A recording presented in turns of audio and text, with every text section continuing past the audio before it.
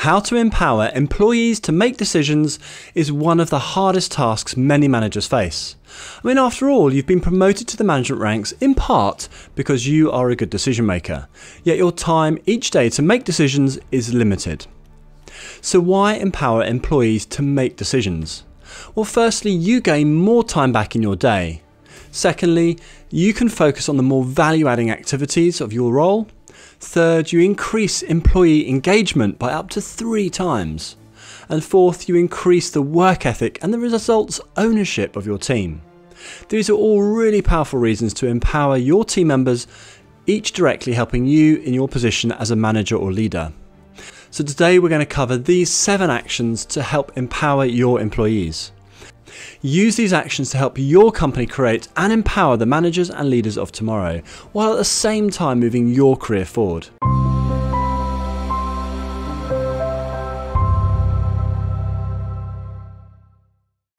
My name is Jess Coles, and I've had a 25 year management career in corporates and household names through to SMEs. I know empowering team members to make decisions by getting the balance between staying out of their way and being available to coach provides amazing benefits to you and the team. Empowering employees is definitely worth the effort needed to achieve this. And if you're new to this channel, Enhance Training shares business and people management expertise to help you improve your performance and that of your team and business. And if you like this video, please give it a thumbs up and subscribe. The first action when planning how to empower employees to make decisions is to really embed the team or the functional goals. Teams are much more productive when everyone is moving towards common goals. Everyone's efforts and work are supportive of each other, rather than some team members being counterproductive. When you have one person making decisions within a team, that person can keep the goals in mind when making those decisions, thus keeping the team moving overall in the same direction. When you empower multiple people to make decisions, even if the key decisions are made by one person, making sure everyone understands and accepts the common goals becomes a lot more important to maintain alignment of effort and work within the team. This moves everyone towards common goals. If you've already set your team goals, then steps to build awareness and buy in might include firstly, taking the team through the company strategy. Second, link the company strategy to the team goals. Third, explain the why and the impact of the team goals on achieving the company goals. Fourth, ask the team to plan projects to implement these goals. And if you've not set the team goals yet, the steps to create awareness and buy in might include you know, firstly, take the team through the company strategy. Second, ask the employees how the team can contribute to achieving the strategy. Third, work with the team members to agree goals for the team. And then fourth, persuade your manager or the management team to accept the goals created by your team. Getting the team involved and contributing to the goals themselves or projects and activities focused on achieving the goals will make the goals become theirs or at least partially theirs. Team ownership improves the chances of achieving the goals set. Don't allow the team goals to gather dust. Constantly bring them up in team meetings and in one to one meetings. Put them on the wall. Empower team members to track progress against a specific goal and get them to regularly report to the team. Create a competition or a game to keep everyone focused on achieving the goals. Use any methods or ideas you have to keep the goals front of mind for the team members. If you, their manager, are focused on the team goals, then they will be too. The second action when planning how to empower employees to make decisions is define what decisions can be made by whom. Not all decisions are made equal. There are many different types of decisions, from the low impact on the business and familiar choices to large impacts on the business and involving unclear right or wrong choices. So, putting in place a clear framework to cover the decisions that can be made by each role is a key risk management tool for the company, and it also protects the individuals making the decisions within the frameworks agreed. Look at which person controls which areas and work out the scope and the level of decision making that would be appropriate for each person so they can do more of their roles without reference to you. The decisions typically delegated are those which are frequently repeated and have a relatively low impact on the company in isolation. When combined, the impact of many low impact decisions can get quite significant. Examples might include deciding on which option to use in managing a customer complaint, or the payment terms agreed with a supplier, or the volume discount given to a potential customer. Capture the decisions in a framework document and get your manager's sign off for this document.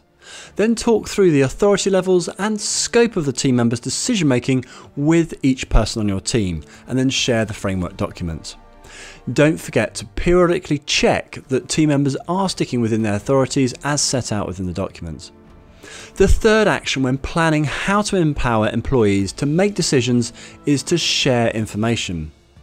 Information is power is a common saying and there's plenty of truth in it. Having the right information at the right time gives you a significantly better chance of making a good decision with a positive impact on the team and the company. Sharing information in reports or access to ERP systems or whatever holds the information gives the individual or group better tools to make decisions. Without the right information, they are just going to rely on their gut instincts or on a limited picture of what is happening. While good decisions can be made in this way, the best decisions are nearly always made in conjunction with the right information and the right insights on hand. Give your employees the information they need to make good decisions. This is absolutely in your interests and the business's interests. You can also use information as one of the tools to keep track of the decisions your employees are making and the impact of those decisions on the business. You know, for example, the conversion rates from changes made on landing pages or from different adverts. Using data to track progress is a useful way for you and the person making the decisions to monitor performance and get early warnings of developing issues. Free availability of information helps everyone do their jobs better. The fourth way to empower employees to make decisions is to delegate problems, not tasks. As a manager or leader, delegating problems is brilliant, as it means you don't need to do the problem solving yourself. Solving problems requires thinking through the issues, coming up with the options to solve the problem, evaluating those options, and then choosing the best one. Then you have the task of implementing the solution, typically a set of tasks to do. Most employees enjoy the challenge of working through these steps themselves, and doing so gets them more engaged, motivated, and keen on seeing the solution successfully implemented. If you're only going to delegate tasks, the problem solving has to be done by you, which takes up your time and does little to develop your employees. So why waste the talent you have worked hard to get into your team by treating them like robots? Look for opportunities to get your employees thinking and problem solving. This helps you directly by saving you time and energy you can put into more important or enjoyable areas of your role. The fifth action in how to empower employees to make decisions is to start small. You know, there is risk in giving employees more decisions to make. They may make worse decisions than you. They may find the responsibility for making the decisions a challenge. They may lack confidence in their own decision making ability, and so on. So reduce the risk to you, the team, and the business by delegating the smaller and easier decisions to make to start with. Starting with the smaller decisions gives the individuals practice at decision making and using their judgment.